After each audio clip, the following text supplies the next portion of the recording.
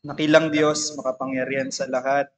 Ama, dalangin namin na sa pag-aaral na ito, mas makilala namin yung layunin mo sa iglesia. Dalangin namin ang banal na spirito sa paggabay, sa magtuturo, gayon din sa mga makikinig. Ngatan nyo rin po yung mga kapatiran na papunta pa lamang.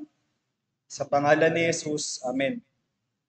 Okay, so good morning ulit. Happy Lord's Day, CRO. Thank you sa panibagong privilege na makabisita ulit rito at makapagturo. So, kung mapapansin natin sa mga balita, nagbubunyi ngayon ang mga grupo ng mga LGBT dahil ipinasa na sa pamagitan ng DepEd order yung tinatawag na gender-based policy basic education. So dito malaya ang mga estudyante, mga guro at mga maging yung mga magulang, yung mga pamunuan ng mga eskwelahan na ipahayag yung kanilang mga sarili. At makikita natin dito na nakalilimutan na ng mga eskwelahan yung kanilang layunin. Tinatawag na ano ba ang purpose but may mga eskwela. At alam naman natin na ang purpose niyan ay magturo. At yung mga bata mag-excel sa mga larangan na nais nilang tahakin. O di kaya ay maging mabuting mga estudyante nang sa gayon eh kung sila ay magiging trabahador, maging mabuti silang mga trabahador. Ganito yung layunin ng mga eskwelahan noon, ngunit hindi na ngayon. Nakalilimutan nila yung kanilang layunin. So matatawag natin na unti-unti na na hindi nagiging malusog itong institusyon na ito. Nagiging toxic na siya para sa mga bata. Biruin mo yung anak mo, i-enroll mo para matuto ng tama at magugulat ka hindi na tama ang kanya ituturo sa kanya. Gayon din ang iglesia. Ang iglesia may layunin. Merong batayan para masabi natin na malusog ang isang iglesia. At nakakalungkot, maraming nagsasabi na sila'y iglesia ng Panginoon, ngunit hindi rin tapat sa kanilang layunin. Hindi tapat sa layunin na itinakda sa kanila ng Diyos.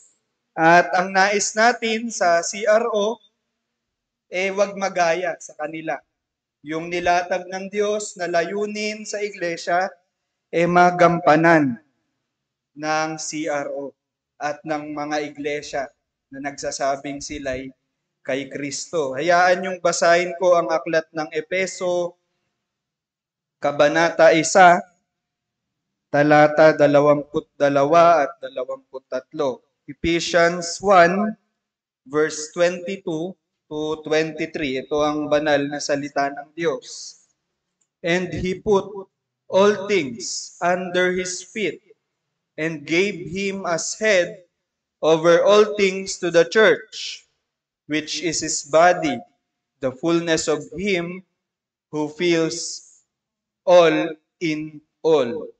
Ito po ang salita ng Diyos. Malinaw dito sa tekstong ating binasa na si Pablo, nagpapasalamat siya sa Diyos. Pa, nananalangin siya. Nagpapasalamat siya na ito ang nangyari sa inyo. Ephesian Church, ito ang nangyari sa inyo. Pinili kayo ng Diyos bago ilikhain ang lahat. Kayo tinubos ni Kristo, kayo tinawag ng banal na Espiritu, kayo'y naging isang iglesia. Ang ulo nyo eh si Kristo. At ito ay pinagpapasalamat ni Pablo. So ano makikita natin dito? Si Kristo bilang ulo ng lahat ay siyang ulo din ng iglesia. Sabi diyan, no, He put all things under His feet and gave Him as head over all things.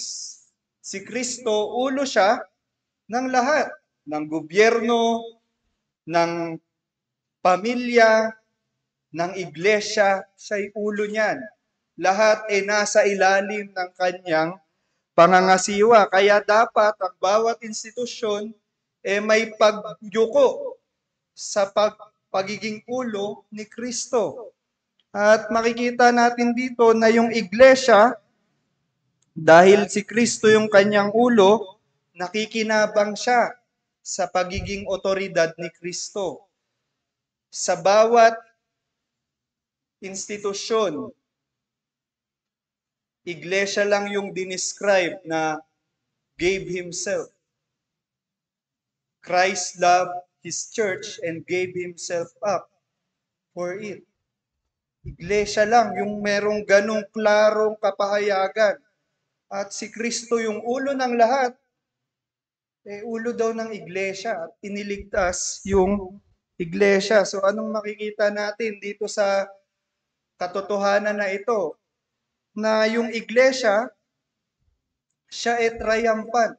Siya ay merong katagumpayan kay Kristo na kanyang ulo, na kanyang tagapag ligtas. At dapat ang iglesia bilang il, nasa, pang, nasa ilalim ng pagiging ulo ni Kristo, bilang katawan ni Kristo, e tumutupad sa layunin na inilatag ni Kristo.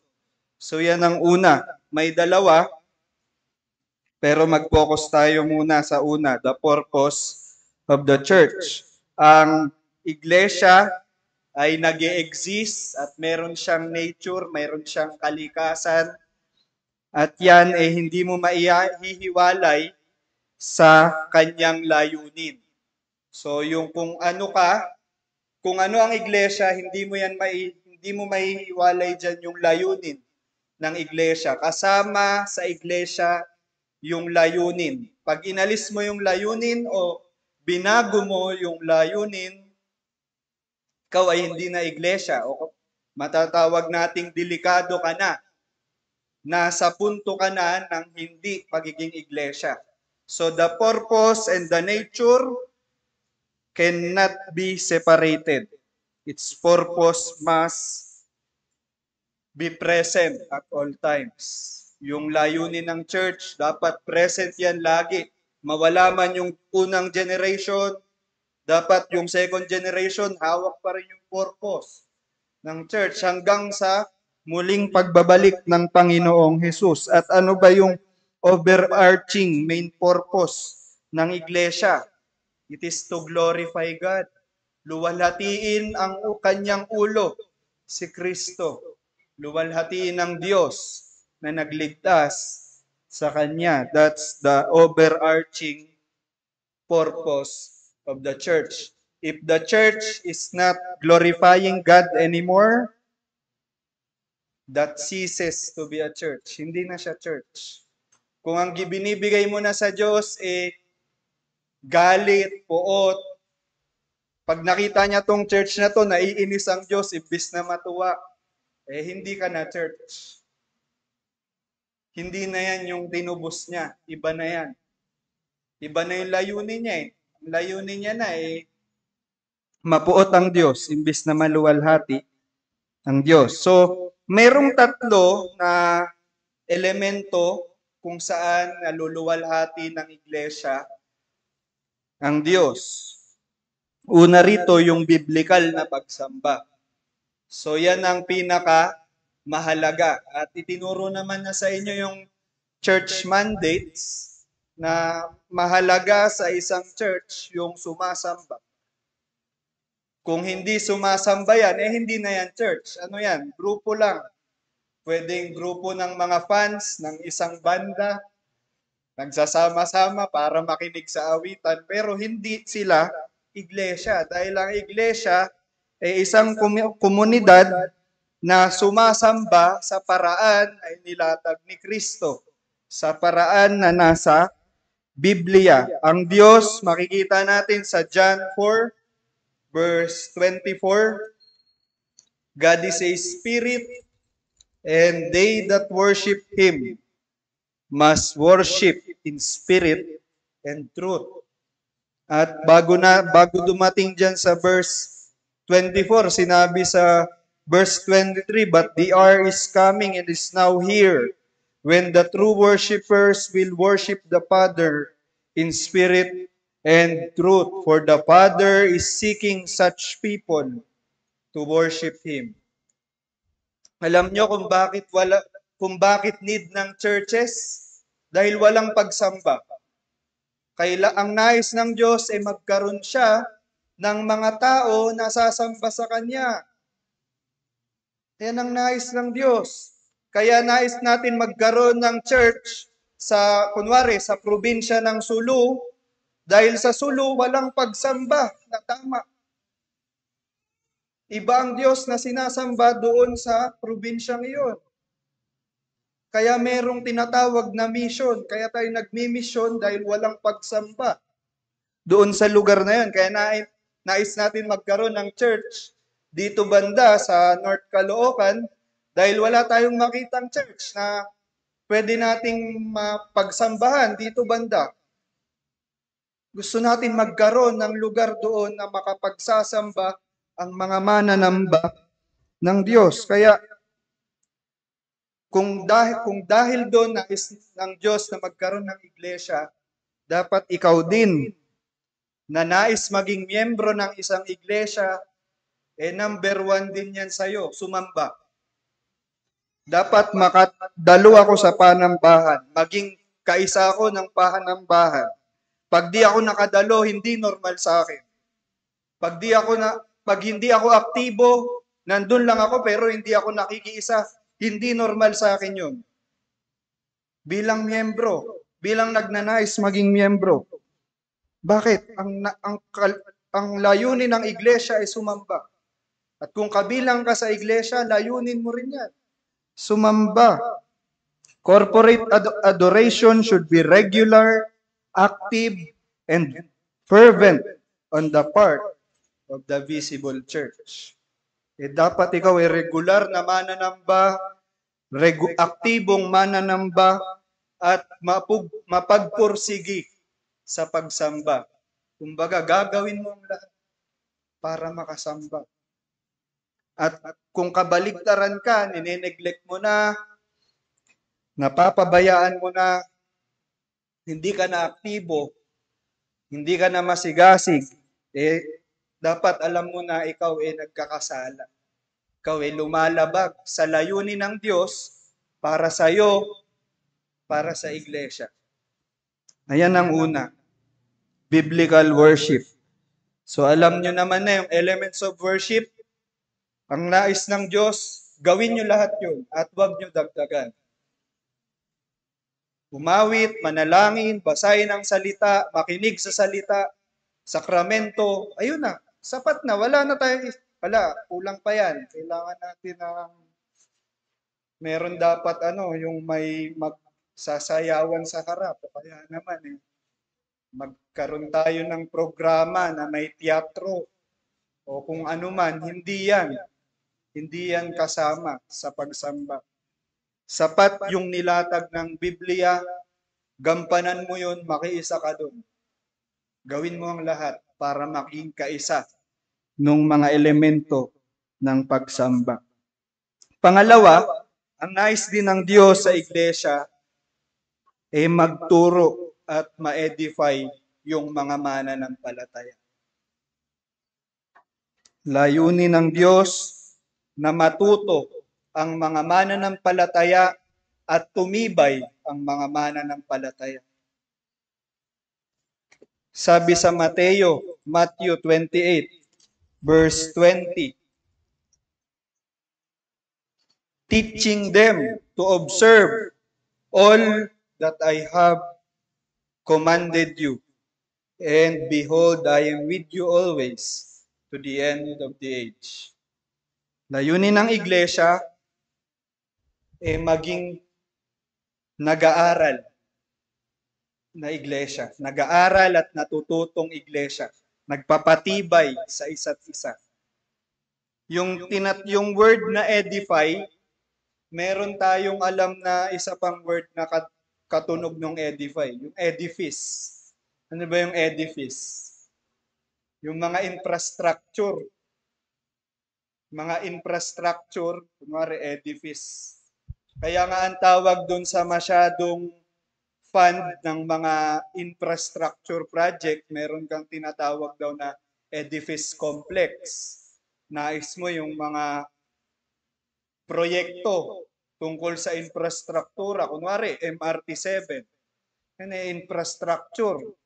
Yung mga airport, yung mga daan, mga expressway, yan ay infrastructure. Ang edify, big sabihin yan, to build. To build ng matibay. Hindi lang gawa sa sa yung tinatawag nating hay, yung nipa, na parang kubo, hindi mo matatawag yan na edifice. Eh. Kasi bagyuhin yan. Wala na. Bato. O kaya, yun nga, parang M- MRT. Bagyuhin, lindulin, bangtibay. Ganon ang disenyo sa iglesia. Dapat ganon, tumibay. Tumitibay, pinatitibay yung, yung individual na mananampalataya at pinatitibay din yung kabuuan bilang bilang corporate body. So ang pagtuturo pala, yung pag tinuturuan kayo, yan ay parang pagpapatibay sa inyo. Pag nagpe-fellowship kayo, pagpapatibay nyo yan sa isa't isa. Nananalangin kayo para sa isa't isa. Pagpapatibay nyo yan sa isa't isa. Yung, yung dating marupok na mag-isa, eh tumitibay. Tumitibay siya. Lumalago siya sa kanyang pananampalataya. Dahil ang iglesia ay komunidad ng katotohanan at ng kabanalan sa mundong ito ng ka- kasalanan at kasinungalingan. Talamak ang kasinungalingan, talamak ang kasalanan sa mundong ito. Pero sa iglesia, hindi dapat yan ang description. Ha, dito, talamak ang ano dyan, kasinungalingan dyan. Talamak ang pangangalunya, talamak ang patayan. Hindi. Sa iglesia, may mga, kung magkakaroon ng ganong mga kaso, disiplina. Yung pagdidisiplina, edification din yan. Ginagawa nyo yung pagdidisiplina para ma-edify yung church. Matigilan yung isang parte ng katawan na nagkaka problema. Magamot siya, ma-restore, maibalik siya sa tama na pamumuhay. Kaya church discipline can be a part of its purpose to edify. Sinning members of the church that are not repentant, yung mga unrepentant na members na nagkakasala ay dapat disiplinahin to edify and to restore that person. Kasi kapag ang church naging tolerant na siya sa sin, hindi na edification ang ginagawa niya. Destruction. Dinidestroy niya na yung church. Pinapahina niya na. Pinapalambot na niya. Kaya sa mga infrastructure, may tinatawag na maintenance. Mine-maintain yung mga yung ano, yung infra, infrastructure. Kine-check, may butas na ba rito, may biyak na ba rito. Eh yan eh, para ma-ensure na matibay pa rin yung yung gusali, yung infrastructure. Sa iglesia, ganun din. Pagka may lumabas na bitak, dapat ayusin. Hindi dapat alisin agad yan. Merong proseso na tinatawag. At naituro naman na sa inyo yan, yung proseso ng pagdidisiplina. So, to edify means to build the church in love. In love. Yung motivation natin, kaya tayo nag-edify, eh para ipahayag yung ating pag-ibig sa kapatid at sa iglesia. And lastly, evangelism. Sabi sa verse 18, Go, therefore, ay, verse 19 ng Matthew 28 pa rin, Go therefore and make disciples of all nations, baptizing them in the name of the Father, and of the Son, and of the Holy Spirit. The church is an evangelistic community. It evangelize. It evangelizes to a komunidad ng ilaw sa mundong madilim. Kaya kaya kailangan ng church sa North Caloocan dahil tong North Caloocan ay napakadilim. Madaming mga tao rito na wala pa kay Kristo. Ganon din sa Antipolo, ganon din sa iba't ibang dako ng Pilipinas. Kaya ano ang ng mundo, ang utos nga dito, go therefore and make disciples of all nations. Bawat bansa. Dahil dun sa mga bansa na walang disipulo ang Panginoon, eh walang ilaw. Wala silang malalapitan, walang magtuturo sa kanila ng ebanghelyo. Kaya ang utos sa iglesia, eh mag-ebanghelyo.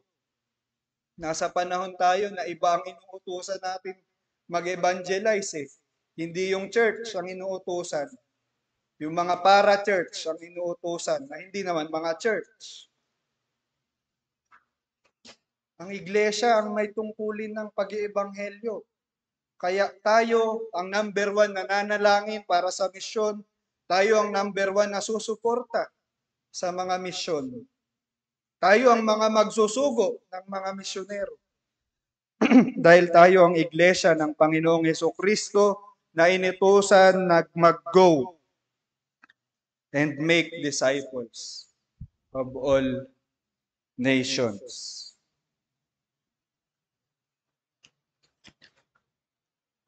So to be a healthy church, every member must be aware and active and be actively involved in doing its purposes. Kung gusto natin na maging malusog ang CRO, sasamba ang CRO. I-edify niya, tuturuan niya ang mga miyembro ng CRO, magtuturo ang CRO. No pa? Ma- mag-eebanghelyo ang CRO. Papangaral niya yung ebanghelyo sa lahat ng kaya niyang pangaralan. Dahil yan ay tungkulin ng iglesia.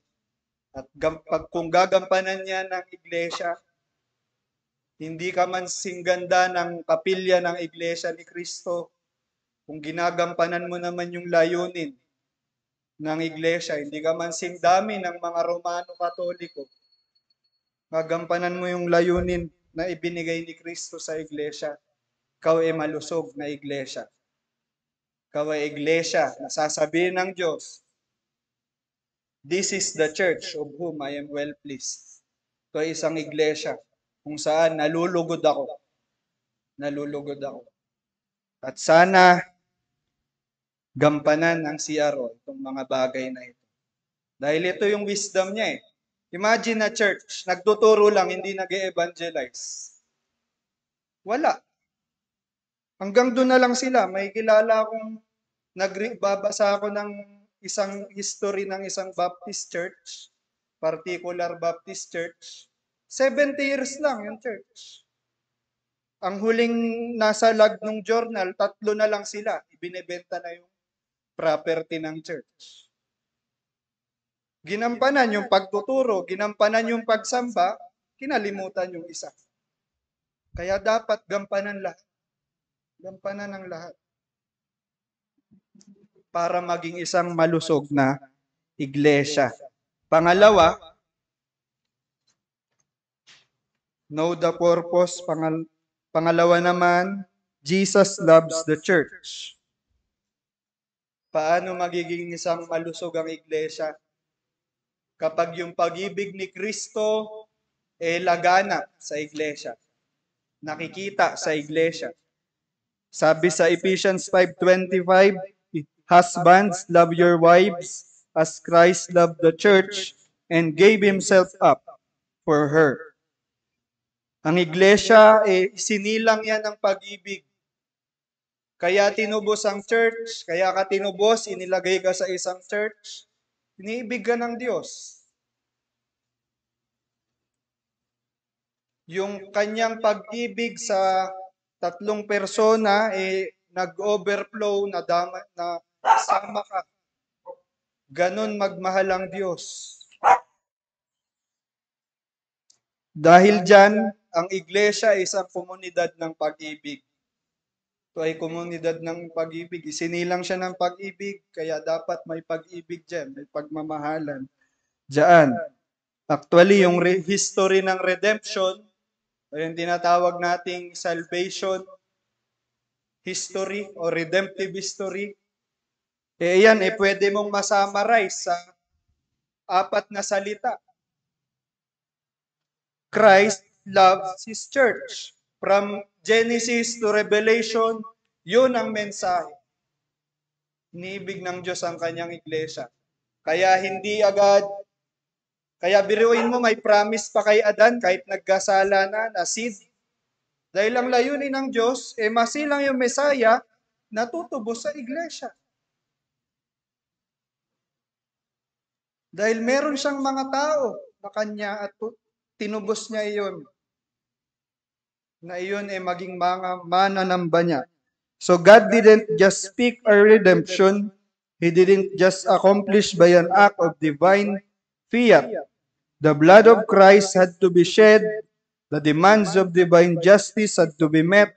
There was no other good, good enough to pay the price of sin. He only could unlock the gates of heaven and let us in. Derek Thomas. So si Kristo, hindi niya lang sinabi na tutubusin niya ang iglesia. Hindi lang, oh, ayan, natubos na. Hindi. Siya mismo, si Kristo mismo, isinilang sa mundo na makasalanan, namuhay ng banal, at hindi pa rin nagkasala, kahit makasalanan yung paligid niya, para tubusin ka. Pinarusahan siya sa kasalanan na hindi niya ginawa. Dahil ganyan niya kamahal ang iglesia. Ang iglesia, e inibig niya eternally and unconditionally. Wala pang iglesia, wala pa yung unang mana ng palataya, iniibig niya na ang lahat. Eternally, Christ loved the church. And unconditionally, walang kondisyon. Hindi niya nakita, ah, sa araw na ito, mananampalataya si Herman. Hindi. Minahal ka niya. Unconditionally. Walang kondisyon.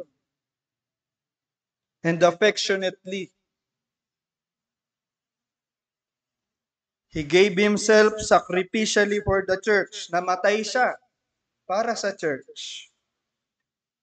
Tapos, aktibo niyang inaalagaan at pina, pinararangalan ng iglesia. Ninonoris niya, pinakakain niya, pinoprotektahan niya, dinedepensahan niya, pinababanal niya ang iglesia. Ganyan siya magmahal. Kaya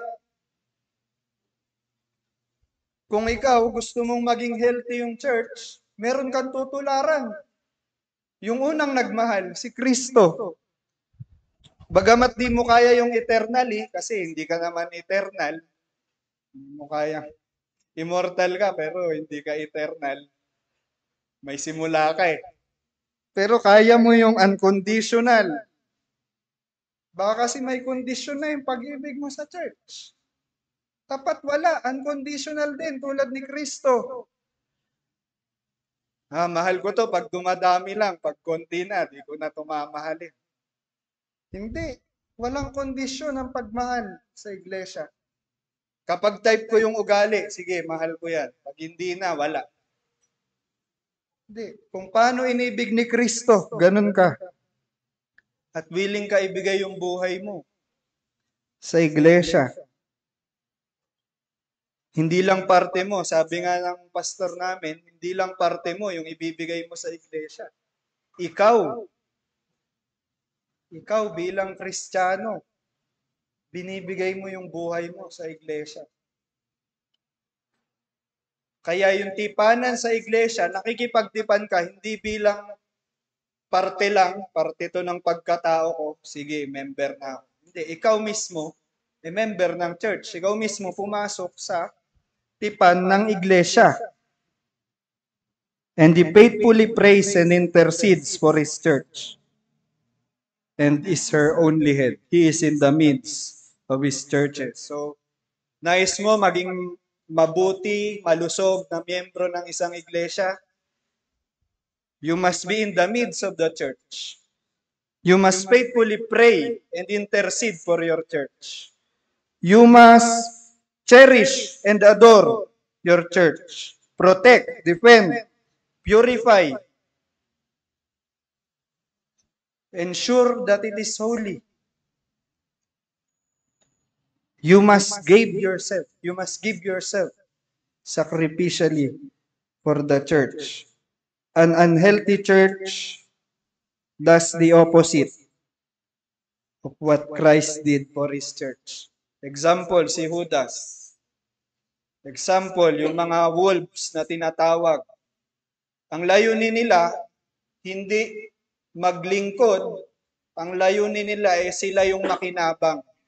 Papasok sila sa church para pakinabangan yung church. Para wasakin yung church. Para maiba yung layunin ng church.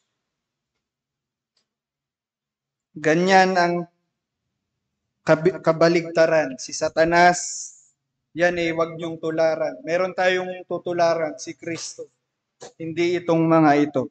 So to be a healthy church, every member must follow the love of Christ for His church. As we conclude, the purposes of Christ and His love for His church are essential to maintain a healthy local church. Ano ang formula? Hindi natin kailangan ng kung ano-anong gimmick o kung ano-anong mga pasabog. Simple ang formula na binigay ng scripture. Alamin mo yung purpose ng church, gawin mo yon. Pangalawa, ibigin mo yung church tulad ng pag-ibig ni Kristo sa church. Doon mo masisiguro na malusog ang iglesia. Kapag hindi na ganyan, hindi yan malusog. Kailangan kumilos para maayos yung kalusugan. So yun lang. Meron ba tayong mga question and um, question lang pala sige. Baka ako yung kayo rin mag-answer. sige, kung may mga question sa ating topic.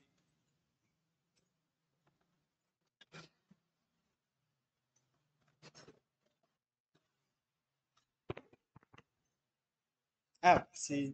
Ay, tama. Hala ko, may tanong.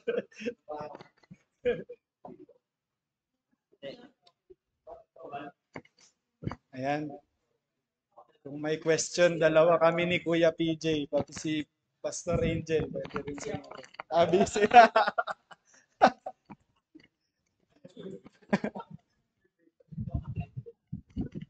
Hello.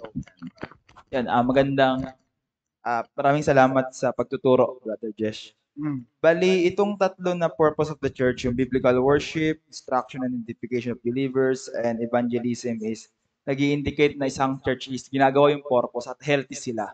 Mm. Pag may isa na hindi o na neglect, Mm. is unhealthy. Oo, or delikado. Oh, unhealthy o delikado. Pero hindi pa sila pwedeng sabihin or hindi sila ka-indicate na hindi sila simbahan o church. Depende ah, kasi yung worship, ano siya, essential. So kung mawala siya, hindi na siya church. Pero yung edification tsaka evangelism, pwedeng di na nane-neglect, pero church pa rin. Pero yung worship, pagka di na talaga sumasamba, wala na. Bali, pag walang pagsamba, hindi sila simbahan, pero mali yung pagsamba. Ayun, pwede rin. Kung depende sa uri ng mali, ah. Kunwari, mali yung sinasamba. Ang sinasamba eh si Allah. Hindi sa church. Pero kung sa issue nung yung regulative o RPW. normative, pwedeng pagsamba pa rin, meron lang silang tinatawag na mali lang yung prinsipyo nila, church pa rin yun. Pero yung wala na talagang pagsamba, o iba na yung sinasamba, hindi na yan church. Pwede, pwedeng church, yung NPW, pwedeng unhealthy. Unhealthy church. Yun lang. Salamat. Ganun lang. Ayan, may sagot din siya. Ah, dagdag lang doon. Ah, actually, yun yung mga present na element dapat sa isang local church. Hindi siya dapat, ah, yung sinasabi ni Brother Gershon na pwedeng maneglect, pero dapat present lagi siya na element sa loob ng isang local church. Ah, hindi pwedeng ang isang iglesia ay naka-focus lang doon sa isang bagay na ginagawa niya. May mga iba pang principles na ah, dapat gawin yung isang local church. At kung mawawala yung isa dyan, na, ele- na present element sa isang local church, hindi siya magpa-function normally as a local church. May kulang. Although natatawagin siyang local church, pero hindi siya ganun ka, ah, magiging ka-effective doon sa ministeryo kung saan siya dapat nakadisenyo sa New Testament. Yun yung Okay. Follow up pala. Ay, sige. Kung example, wala silang pagsamba, pero tatawagin, in their eyes or in their claim, they are church. But pero sa atin, di natin sila i- i-recognize as a church. Tama po ba? Kasi walang pagsamba eh. So, ano siya? Kumbaga, professing church pero hindi church. Grupo lang ang tingin siguro natin sa kanila. Group. Oo, kasi walang worship. Eh yun ang pinaka kailangan. Dapat may worship. Iba-iba man ang paraan, pero dapat may worship. Yun lang po.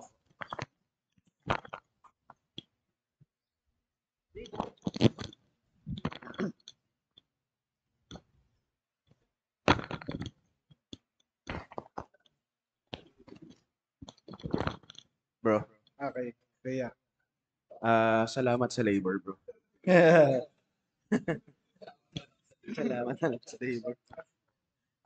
Um, yung yung ah, tatlong binigay mo na na ah, purpose ng church, since na church yung usapan, ah dapat din bang, although naintindihan ko yung tanong ni at sagot nung kay Hermar, pero ah, tulad nung sa pinakahuli, yung evangelism, Hmm. Although kasi, di ba, yung biblical worship tsaka instruction and edification of believers, usually given na, di ba? Na nag-aaral kasi. Um, pagdating sa evangelism, since na outreach pa lang kami, ah paano namin yung i-take? Paano, paano nyo gagampanan? Ganun ba? Ah, as a outreach, hindi pa isang tuluyang simbahan. Ah, dapat aiming na rin kayo na mag-evangelize sa preaching, may gospel sa yung sa pamilya nyo, may family worship. Yung, may mga unbeliever sa pamilya nyo, eh, yung mga bata. Ang view natin dyan, hindi pa unbeliever. So, tuturuan natin. I-evangelize, i-evangelize. So, ganon. Pwede, pwede rin nyo rin i-ask si, si Pastor Angel kung ano pa yung paraan. Pwede rin mamigay ng track sa mga kaibigan, mag-host ng Bible study, mga evangelistic activities yan. Wala naman tayong fix na ganito lang yung paraan ng pag-evangelize. ay, ay, ay, ayan. Kailan po bang mag-concert? Wala bang cons?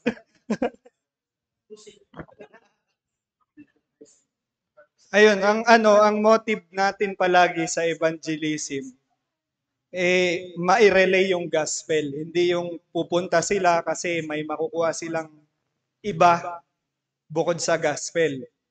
So dapat clear 'yun. So kung meron kayong mga evangelistic activities, dapat ang invite nyo sa kanya, tara may ka, tara may evangel may pagtuturo ng gospel.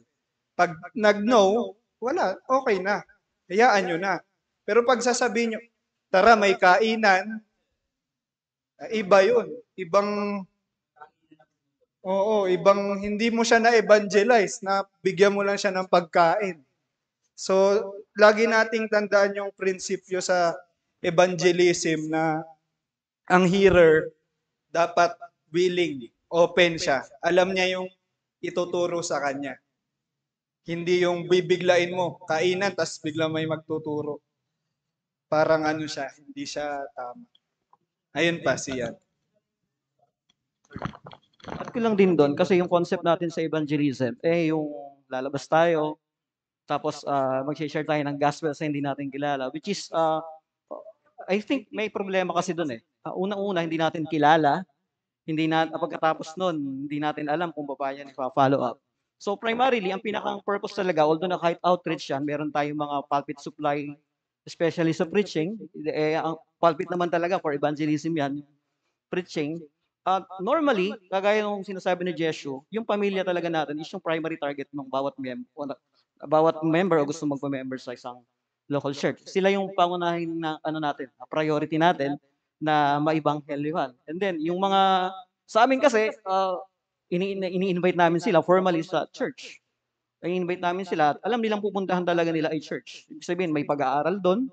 And doon pwede natin silang ma-persuade and open tayo doon sa mga Q&A, especially sa mga Q&A dahil doon nagkakaroon sila ng interest. Uh, ano yung belief natin? Ano yung pinaniniwalaan natin? At uh, malaki, malaki rin yung impact ng social media, yung ginagampanan niya. At uh, magpapasalamat tayo sa Diyos dahil may ganon. So malaki yung nagiging influence. At uh, mga means yun na pwede nating gamitin. Hindi lang tayo nakafix dun sa mga uh, paraan na normally na alam natin. Si-share ng gospel and then pababayaan natin. Eh hindi hindi tayo uh, hindi tayo umaayon sa ganong mga dating kinaugalian natin. Which is mahirap yon na yun. Ayan, si Pastor Ranger. Ah, salamat Brother Jeshu. Salamat na lang sa labor. De, salamat sa inyo mga kapatid. I have to say it, bro. Then, ah, isa pa doon ay yung kasi ang question ni Brother Rico habang ano pa tayo na outreach. At ang ganda ng sagot ni Brother Jeshu na ngayon pa lang ihanda na. So part nun is yung mangi intentional na and seizing every opportunity rin. Uh, example ko lang nung nangyari kahapon sa supposed to be dedication ng anak ni Brother Jet.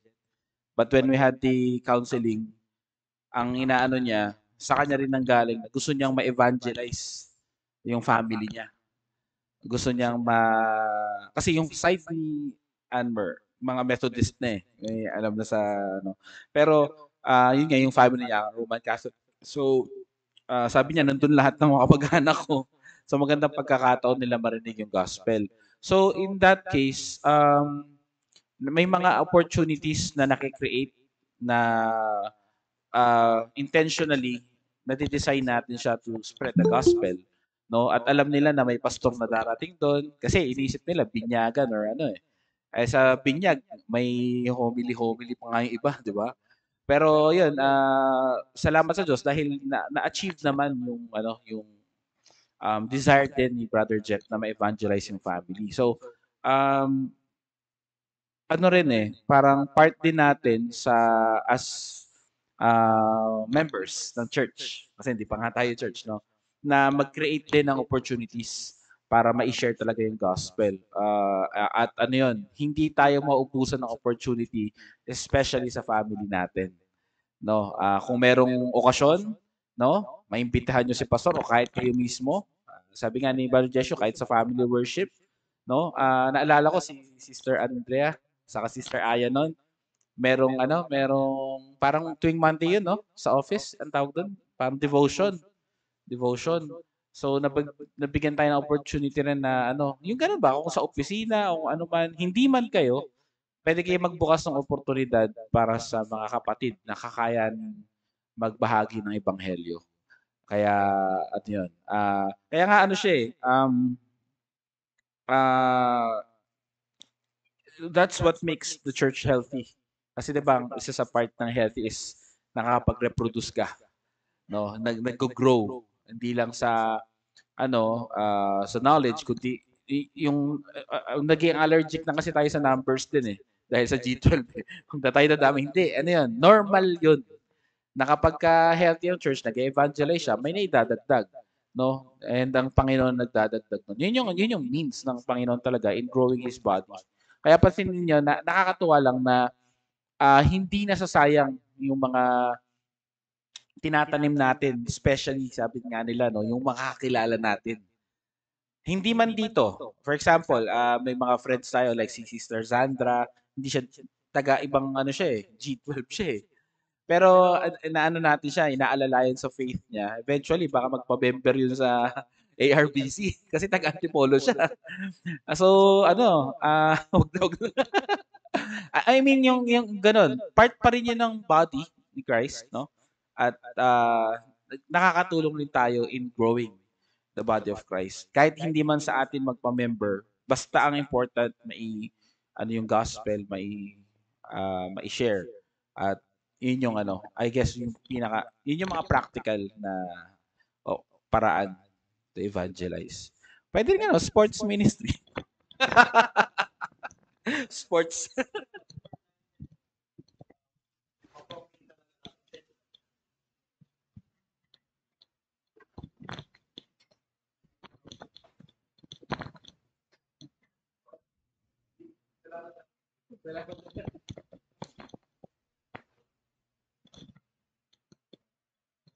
Sino po?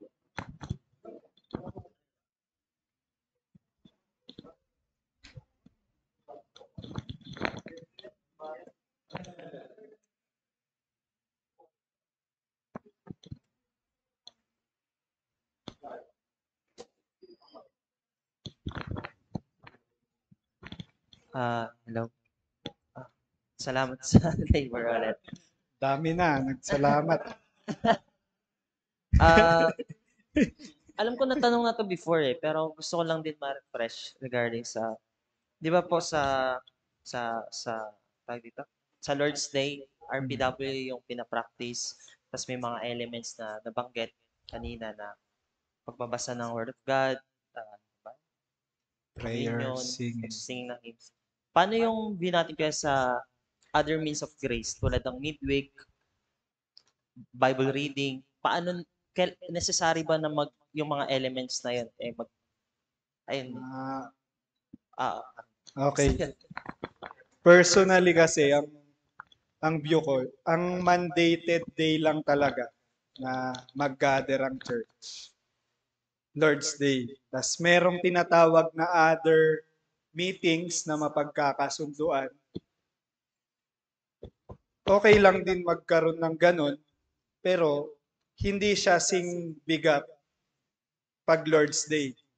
Kasi yung view natin sa Lord's Day, kaya may sa 7th magre-rest. Kasi yung 6 days, may allocated na ano rin yun. May allocation na gagawin doon, which is work. 6 days you shall work. On the Lord's Day, you rest. So, may mga reason talaga. Kunwari, maglagay ka ng midweek. May mga members na hindi talaga makaka-commit dun sa midweek na gawain dahil may work sila. So, eh utos din ng Diyos yun eh, na magtrabaho. So, sa mga ganong araw, ano talaga siya, more on dagdag na lang, supplemental. Kung may hindi makapunta, hindi siya, hindi mo siya, hindi mo i-judge yung kapatid na, ito, ano to, walang pahalaga to sa means of grace kasi hindi dumadalo ng ano eh, ng midweek. Hindi. Kasi may ano siya eh, duty siya sa six days eh. Para sa Diyos din yung ginagawa niya eh, na magtrabaho, na alagaan yung pamilya niya. So, ano siya? So yun, yung kalagitnaan, ano siya? Supplement, kumbaga. Supplemental, siguro walang ginagawa. Eh di ayan, nag-usap-usap, tara, basa tayo. Ganon din naman nagsimula yung mga ibang online activities sa ARBC. May mga walang ginagawa that time, tapos naghihingi silang tulong sa paglakad nila sa pag-aaral ng Biblia. E di na isipan magkaroon ng ganong skip. Pero kung may hindi maka-attend, hindi siya, di natin siya titignan na. Ito, pinababayaan niya. Ano siya, kumbaga yung mga umattend, ano nila yon prerogative nila at dagdag din naman sa kanila. Dagdag din na may matutunan. Pero prerogative, kayo ang magde-decide yan bilang ano, church. Konsultahin nyo rin si pastor. Kailangan may oversight yan. Ganyang gawain.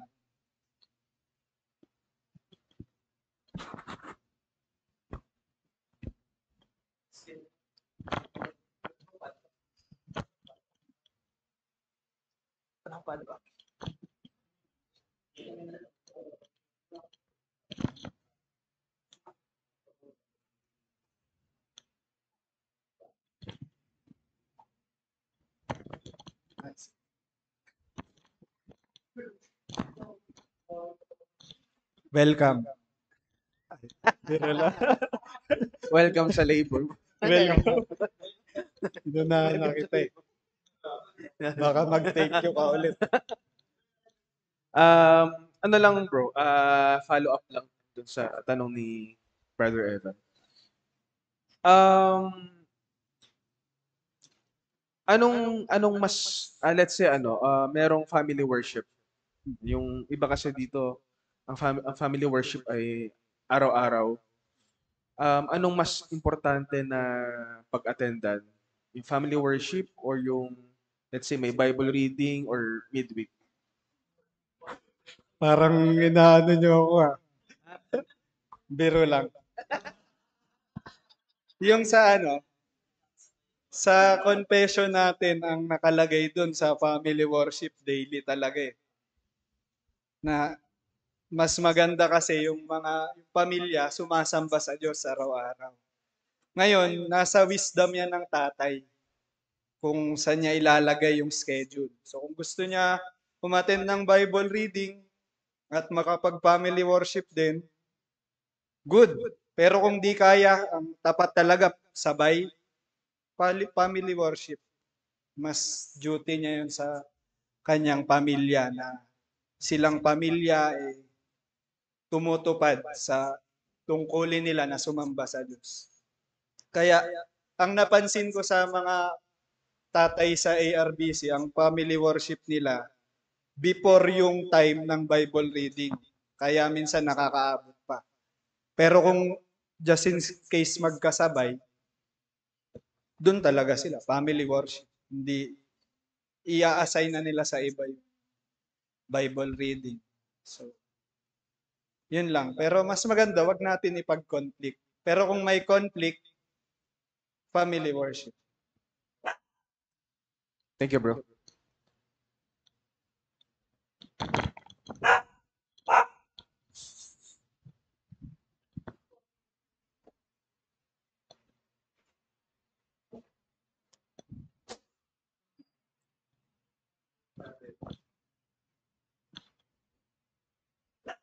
Si Top, mayroong tanong.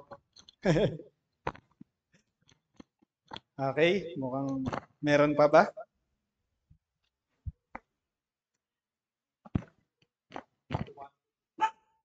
May question pa ba? Kung... Okay, so kung wala na eh, mag-pray na tayo para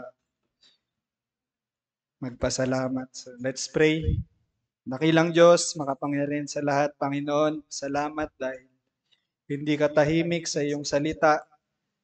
Nasa salita mo ang iyong layunin sa iglesia. Dalangin namin, Panginoon, ang CRO as they desire to become a local church. Dalangin namin magampanan nila yung mga layunin mo at gayon din yung pag-iibigan sa kapwa sa iglesia tulad ng pag-ibig ni Kristo, Panginoon. Dalangin namin na yung mga napag-aralan namin, eh, i-apply namin, Panginoon. At salamat din po sa mga naging tanong, sa mga discussion, salamat sa mga sagot.